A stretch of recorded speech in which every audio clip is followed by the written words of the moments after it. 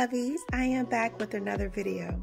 I wanted to come to you really quick just to remind you to smile because we want to make sure that we are approachable and inviting. Um, another thing is, you know, contrary to belief, that children really are watching how you behave and how you act, and they're going to model after that. So, if you are on social media, if you are out and behaving a certain way, children are going to think that that's the way they should behave. They're going to think that this is okay, this is acceptable. And then as they grow up, they're going to take all the things that they learned from experiences and they're going to adopt that into their personal life. And then they're going to be confused when people say this is not acceptable. But to them, it is. This is what they saw growing up. This is what they saw their mother did and how they handled certain situations with men, with other women, in the workplace, and everything. Just remember you are a representation of not just yourself, but you are a representation of your family name.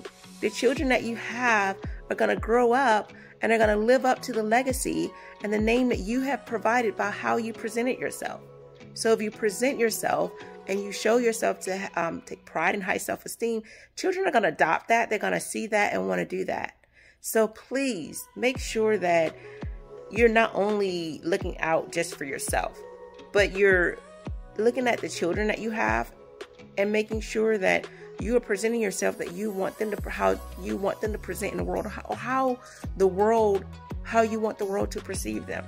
Yes, you can't worry about what people think, but you can't just go around in life and say, well, it doesn't matter what anyone thinks. And it only matters what you think.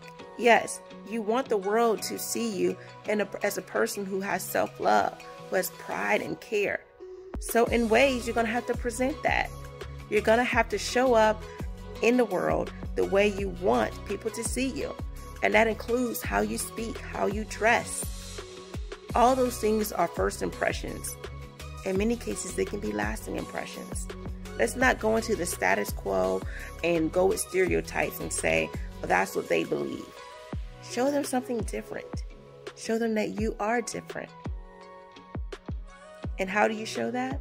By showing up in the world and taking pride in who you are, how you dress, how you present yourself, and stop saying, well, that's just them. I'm going to do me and they're going to do them. We say that so much, and you can. You can do you. Just don't get mad when people see you how you do.